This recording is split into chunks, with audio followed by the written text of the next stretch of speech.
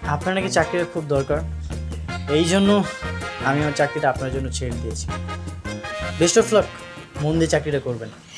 Thank you তুমি? এ কি? আপনি? আপনি এখানেও হাজির? আপনার ভাঙা বোর্ডবোর্ডে জরিমানা নেওয়ার জন্য আপনি এখানেও চলে এসেছেন? কোনো দিনই না। কখনোই না। কি বলছেন আপনি এসব আবল তাবল কি বলছি তাই না? তোমার জন্য কখনোই আমি আমার চাকরি ছাড়বো না। দরকার হলে এখানে ফ্রি ফ্রি চাকরি করব। তা তোমার জন্য চাকরিটা ছাড়বো। না। এখন ও যদি গিয়ে উপরে কমপ্লেন করে তাহলে তো আমার চাকরির বারোটা বাজবে বাজবে। তোমার চাকরিটাও হবে না। একটা উপায় আছে।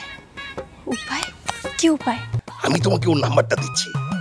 তারপর ওকে রাজি করাবে। প্রেমের ফাঁদে ফেলবে আর কি? পারবে না?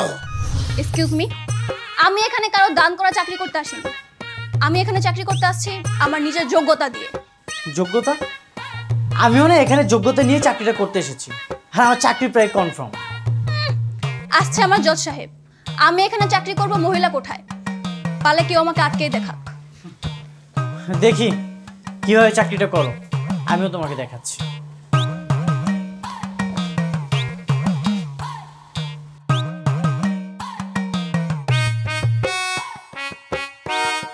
স্যার আমি এই চাকরিটা ছাড়ছি না। আমি এই চাকরিটা করব মানে করবোই স্যার। মানে কি? একটু আগেই তো বললে তুমি চাকরি করবে না। এই অল্প সময়ের মধ্যে আবার কি হলো? স্যার আমি কোনো অন্ধ প্রতিবন্ধী মেয়ের জন্য চাকরিটা ছাড়তে পারব না। এটা আমার দ্বারা কখনোই সম্ভব না। অন্ধ? মানে তুমি তো রাজি হলে। স্যার তখন তো আমি জানতাম না যে ওই মেয়ের জন্য আমি চাকরিটা ছাড়ছি। যদি আমি জানতাম তাহলে কখনোই চাকরিটা ছাড়ার জন্য আমি রাজি হতাম না। দেখো মারুফ মেয়েটা না আসলে খুবই ভালো অনেক ভালো মেয়ে সত্যি। ঠিক আছে স্যার। তাহলে আপনি শুনেন। স্যার আপনাকে যদি রাস্তার মধ্যে কেউ একটা থাপ্পড় দেয় তাহলে আপনি কি করবেন?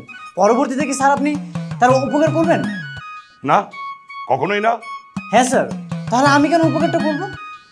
মানে মৌসুমি তোমাকে হ্যাঁ স্যার। আমাকে থাপ্পড়ে শুধু মারেনি রাস্তার মধ্যে আমার বাইকটাও ফেলে দিয়েছে।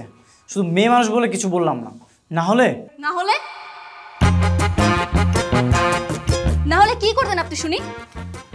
না হলে কি করতাম? দুই গালে দুটো থাপ্পড় দিতাম আর থাপ্পড় দিয়ে বেহুশ করে ফেলতাম। আমি না কাউকে ছেড়ে দিই না ও হ্যালো? আমিও না কাউকে ছেড়ে দেই না।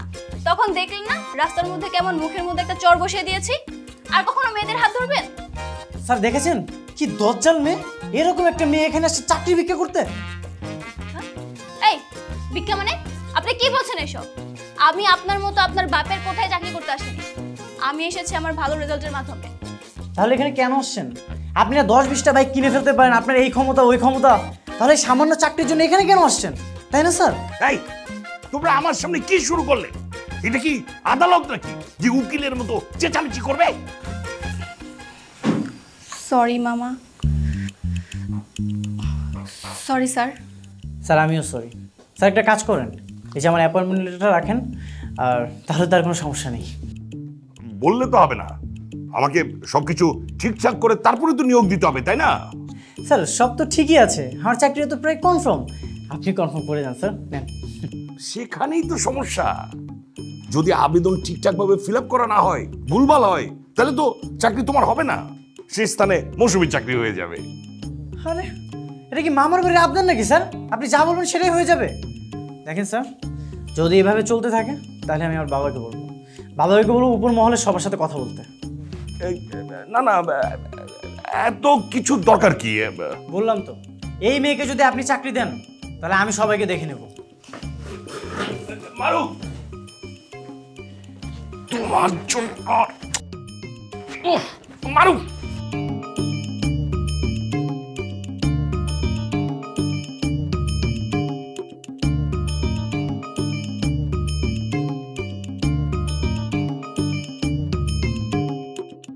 চলে গেল।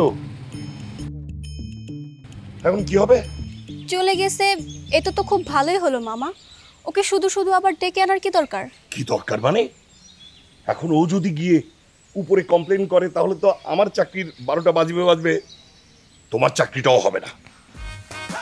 কি বলছেন আমার কে দোষ? আরে আইন অনুসারে এই ছেলের তো এই চাকরিটা পাওয়ার কথা। ওর বাবা এখান থেকে রিটায়ার করেছে। তাহলে এখন কি হবে মামা? সেটাই তো ভাবছি। কি করা হ্যাঁ একটা উপায় আছে। উপায়? কি উপায়? তুমি তার সাথে যোগাযোগ রাখবে।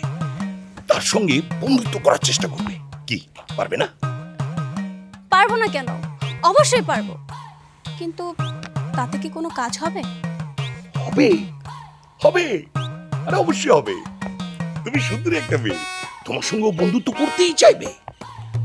তুমি তাকে মাঝে মাঝে ফোন দিবে। আমি তোমাকে ওর নাম্বারটা দিচ্ছি। তারপর ওকে রাজি করাবে। প্রেমের ফাঁদে ফেলবে আর কি? পারবে না হ্যাঁ পারব না কেন? অবশ্যই পারব। গুড চলো। আমি তোমাকে ওর নাম্বারটা দিচ্ছি। আসো আসো আমার সাথে।